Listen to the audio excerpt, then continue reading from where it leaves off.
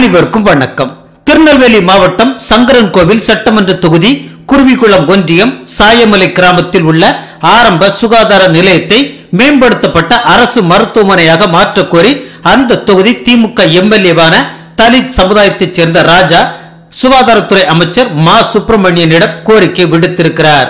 அதன்படி எம்எல்ஏ ராஜாவின் கோரிக்கை ஏற்கப்பட்டு ஆரம்ப சுகாதார நிலையத்தை மேம்படுத்தப்பட்ட அரசு மருத்துவமனையாக மாற்ற ஏற்பாடுகள் நடந்து வந்திருக்கிறது.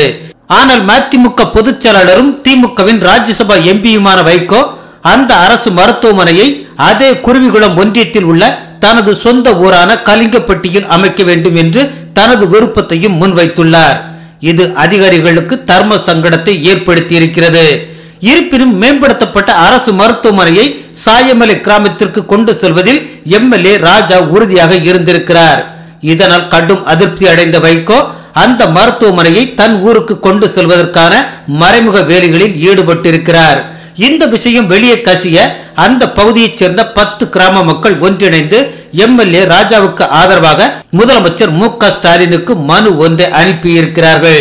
இதனால் கடும் ஆத்திரம் அடைந்த வைகோ எம்எல்ஏ ராஜாவை தொடர்பு கொண்டு சாயமலை ஆரம்ப சுகாதார நிலையத்தை அரசு மருத்துவமனையாக மாற்றும் முயற்சியை உடனடியாக கைவிட வேண்டும்.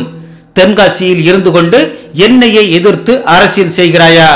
உன் அரசியல் வாழ்க்கையையே அழித்து விடுவேன் என பகிரங்கமாக மிரட்டியிருக்கிறார். இதனால் அதிர்ச்சியடைந்த எம்எல்ஏ ராஜா திமுக தலைமையிடம் விஷயத்தை கொண்டு சென்றுள்ளாராம். என்ன இருந்தாலும் சொந்த கட்சியை திமுகவிடம் அடமானம் வச்சவருக்கு அந்த கட்சி எம்எல்ஏவையே மிரட்டுற அளவுக்கு ரோஷம் வர்றதெல்லாம் ரொம்ப தப்பு கோபால். நன்றி.